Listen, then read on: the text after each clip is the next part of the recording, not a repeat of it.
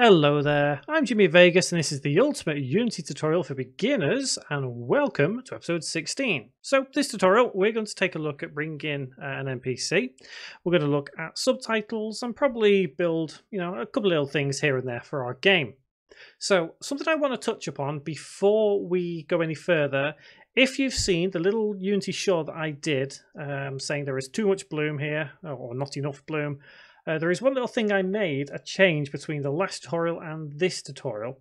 And all it really was, was the particle system that we created not so long ago. So originally we had it as kind of big, thick, foggy looking uh, kind of you know, mist going on in our woods. All I've done now is change the particle size to be a lot smaller and changed it to a kind of off yellowy colour with um, a little bit of alpha taken away. So they kind of look like these little floaty particles in the air. I figured I would change these particles around because it would be more fitting with the style of game that we currently have. I don't think the whole kind of misty fog look uh, would have been quite so good, but you can see here all I've done with the particles is just change how they look to give it that kind of flowing natural look. So, what we're going to do here? Well, I've explained that now, and I guess it's up to you what you want to do with the particles. You can change them if you want. You can keep them the same. You can keep it misty. But don't forget, you can use those uh, mist particles that we created earlier in a different place. You can also recreate what I've done here. Like I said, all it is is just a case of shrinking those particles and changing the colour. Also, probably change you know, randomized direction, that kind of thing, which is all within shape work with your shape and you can probably get something similar to what I have. So, NPCs, non-playable characters. You see them in pretty much every game. They're easy to use, easy to deal with. And how do we do it? Well, the asset store, which we've seen before, is just a plethora of amazing things that you can use. So I'm going to bring ourselves into this little cabin that we have the door that we created last time. And I'm going to bring an NPC to stand right here. So if we go to the asset store, you could literally search for any kind of NPC, but as we do everything for free on this channel, we're not going to look for something that is paid for. We're going to do something for free. If by all means you want to get something that is paid for, it's entirely up to you. The mechanics of everything will still be the same. So I'm shopping just on the old store because I actually kind of prefer it. And I have already brought in an NPC, but uh, I guess we could kind of search a little bit. So if we go to um, 3D models here and go to characters and then also click on free, you've got a multitude of uh, different characters that you could select right here. And again, it's entirely up to you which one you want to bring in. I found one, which I'm hopefully going to be able to find now. It's this Cat Warrior one. So if you search for Cat Warrior, you'll be able to find this one right here. Uh, now, you know, cards on table here. I have not been in touch with this developer. This is just an asset I found which I quite like. I've not been paid for any of this. I've had no input on this particular NPC whatsoever. Again, it's just something I like. So if you want to use the same one I have, please do. If not, you find one that you think is more suitable for your game. So NPC, let's find the folder they're in, which is this one here, and in Cat Warrior, and then we have prefab. And we can just drag and drop right there. And already you can see that's how it's going to look. So I'm going to increase the scale to 2 by 2 by 2. That may be a little bit too small still. I haven't quite decided yet, uh, but we'll soon see. So what can we do with this NPC? Well, as it stands now and how it looks with our post-processing may be a little bit different, but it's something that we can work on. You don't necessarily have to stick with how the asset looks. For example, you could change how he looks visually. So if we go to uh, here in the hierarchy and select uh, where you've got bits of him here, there, and everywhere. Uh, you could change his trousers, for example. If we click on the lower section and click over here on the material, you could change, for example, instead of using the legacy shader, use the standard shader.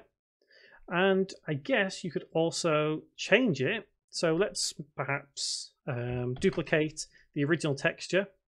Uh, just to be clear, to get to that texture, we've clicked on the albedo here and it highlights it right here and it's actually CW lower. So I'm going to take the duplicated one and add a normal map, create from grayscale, click on apply, and then I'm going to attach that normal map to the lower half of our character. So you can see it's giving a different kind of look already. So if I increase the metallic and change the albedo to be slightly darker, you can see just how much already, how different our character can look. Now, if you're going to do this, you should probably keep everything consistent. So probably work on his upper half as well. So again, you could probably kind of change it to standard or any other shader really. It, it all depends on how you want your game to look. You know, I'm not here to tell you how to make your game. I'm here to show you how to make a game and then you use that knowledge to create your own game. So let's just quickly apply that normal map right there. Uh, let's change it to albedo alpha increase the metallic. So yeah, he looks a little bit strange, but again, customization. So let's take a look at how he looks with our post-processing active. So let's head over there. Uh, one thing um, I'm not too happy about at the moment as well is the sound of our footsteps. So I think we'll take a look at changing that next tutorial. Okay, so there's our guy. Yep, so he's going to give us a quest. So there's obviously going to be some subtitles. Should we deal with subtitles? Let's deal with subtitles. Now, there are different ways of having subtitles. A lot of games just have text at the bottom. Some games have actual text boxes. I'm going to show you how to do both because, as I've said uh, quite early on in this series, we're going to show you everything that is possible in Unity. So we're not going to stick with one thing, we're going to try multiple. So, how do we have subtitles? Well, everything is always in the canvas, and we've dealt with the canvas before. We know what's going on, we know how it works. So, if we go to Game Object, UI, and go to Text, it's literally text. You, you know this, we've done this already. So, I'm going to bring it down the bottom, and I'm going to zero out the position. Double click so we can see where it is. Bring our camera around so we can see a little better. And all we need to do is just align where we want our subtitles to be. So I'm going to change it to white so we can see it and then just bring it using the rect tool up to about there. Let's have it center and let's expand the text box area so we can actually read the subtitles.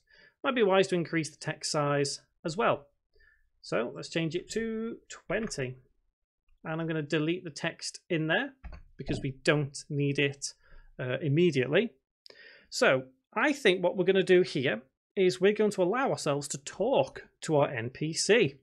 And we've kind of already written similar script already because we, you know, we pick up the axe, we can pick up the gem, we can open the door, and it's a similar sort of script. So let's head to our scripts folder. Let's go to village one and let's right click, create C sharp script, and I'll call this NPC uh, chat. So we may rename this script at a later date. It just depends how what we're going to do. The intention I have with our guy, cat, cat guy, right here is we're going to talk to him, but we can only actually progress our conversation if we have the axe. But firstly, we need to actually set all this up so we can talk to him.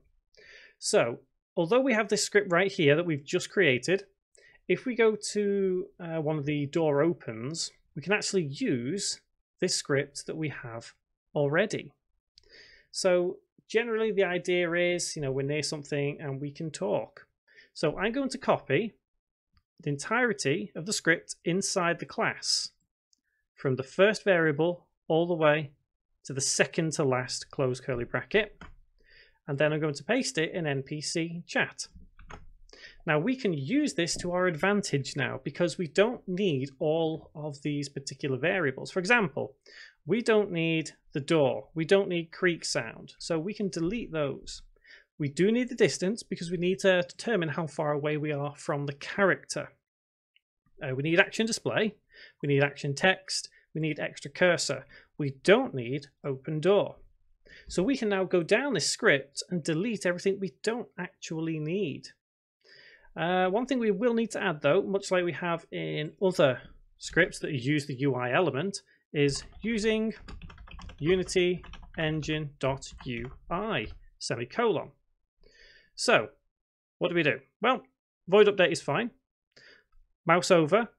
Well, let's go down. Distance, yep. Action, yep. Display is going to say, instead of closed door, uh, what can we say? Talk. Simple as that. Uh, yep, we display the extra cursor and the action text. Otherwise, we get rid. If we press the action button, we don't need to play the creak sound because there is no creak. There's no animation to play.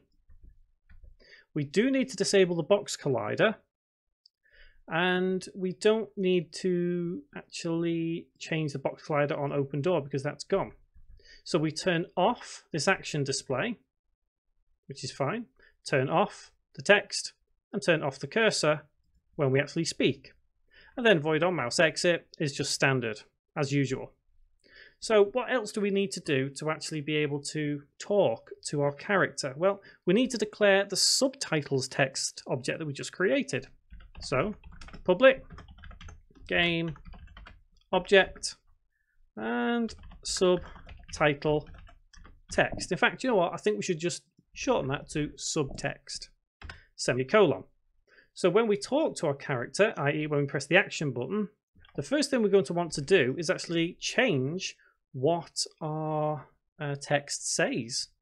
So that's pretty obvious, isn't it? So we need to have sub text dot get component, and then in the two chevrons, the you know spiky brackets, we need to have text.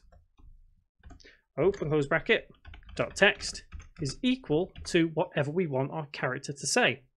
And as I said, he's only going to speak to us if we have the axe. So if we don't have the axe, this is going to be his default um, speech, his default, you know, whatever he says. So we're going to say, please come back to me when you have a weapon. Semicolon and save. Okay. So, how do we cope with this now? Because once we talk to him, that's it. He's not going to say anything else. See, that text is then going to stay on our screen forever. So, we need to come up with a way of getting rid of it after a certain period of time. So, my intention to get this working correctly is to basically have a coroutine. And um, do you know, I can't remember if we've dealt with a coroutine. We've done quite a few things, haven't we? I'm just quickly. Oh, we have. Of course, we have, because we did it with swinging the axe. So, okay, so if we don't uh, uh, quite understand how a coroutine works, just head back a couple of tutorials.